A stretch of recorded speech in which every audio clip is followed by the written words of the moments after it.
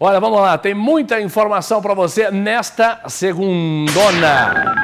Atenção, motorista supostamente embriagado invade a contramão da BR-376 e causa uma tragédia. Ele morreu e por pouco não causou outros, outras mortes. Caramba, como é que eu pego uma pista no sentido contrário, embriagado? Pelo amor de Deus, olha a irresponsabilidade. Vamos ver, coloca no ar.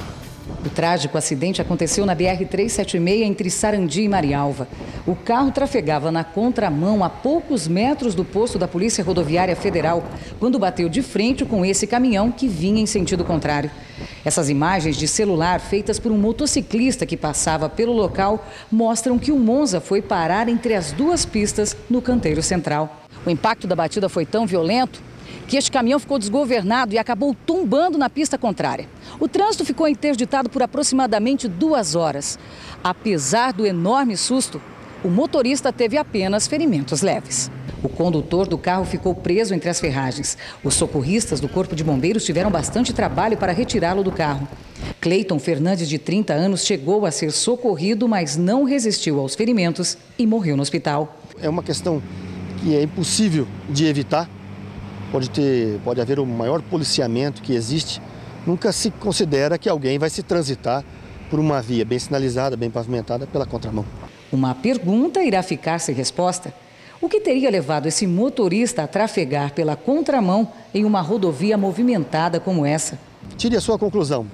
Esse condutor poderia estar embriagado, poderia estar drogado, esse condutor poderia estar depressivo, poderia estar sonolento, confuso, não é possível dizer qual era, o, que, que, o que, que levou esse condutor a trafegar pela contramão. Doze horas depois, na mesma rodovia, outro grave acidente. O condutor desse carro teria perdido o controle e em seguida batido em uma árvore. O carro ficou totalmente destruído, olha só. O passageiro Bruno Sales, de 25 anos, morreu na hora. O motorista Daniel Sales, de 30 anos, foi encaminhado com ferimentos graves ao hospital e corre risco de morrer. O velocímetro do carro pode indicar a principal causa desse grave acidente. O ponteiro da velocidade ficou travado em 170 km por hora, praticamente o dobro do que é permitido nessa rodovia. Quem vê uma imagem dessa, tire a sua conclusão. Esse veículo estava com velocidade compatível? Então, analise a imagem e veja bem o que pode ocorrer com quem ainda se arrisca em afirmar que o carro é bom, que o pneu é bom, que eu estou bem. Veja se é possível esse tipo de, de, de, de, de, informação, esse tipo de crença para acreditar que não pode acontecer um acidente grave. Que coisa, hein? Nesse segundo caso aí, do 170, o motorista está fora de perigo. É, mas o passageiro dele não teve a mesma sorte, acabou morrendo. E esse aí, ó, é, esse do Monza, o motorista morreu. Esse que você está vendo ali, ó. Imagens fortes, por sinal. Mas como é que faz, meu? O cara pega uma conta na mão. Será que ele tentou dar o fim na própria vida? Vai saber. Obrigado, Robson Passarim, que nos cedeu essas imagens aí. Obrigado, companheiro. Estamos aqui à disposição, aqui no Balanço Geral, tá? Obrigado pela gentileza de nos arrumar essas imagens aí.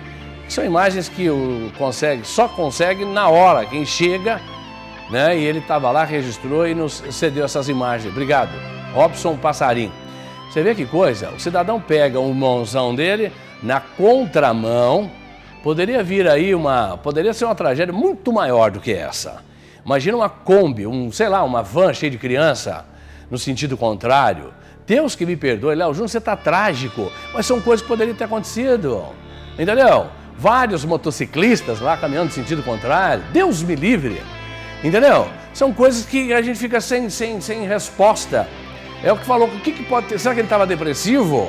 É claro que as pessoas que convivem com ele devem saber lá o motivo. Olha, ele não estava bem, ele bebeu, ele tomou remédio tal, misturou. Deus me livre, meu Deus do céu. Que a gente sai, pega a estrada, mas a gente troca uma ideia com o chefão lá em cima antes, né, meu? Falou, ó, preciso fazer um roteiro aí, uma viagem, me ajuda, tal. É assim que a gente faz é, é, barbaridades a gente comete, corre um pouco, às vezes corre. É normal de todo motorista e o Léo Júnior não é diferente. Às vezes você dá uma pisadinha numa ultrapassagem e tal. Mas caramba, andar na contramão, meu amigo, é duro, hein? Tá louco.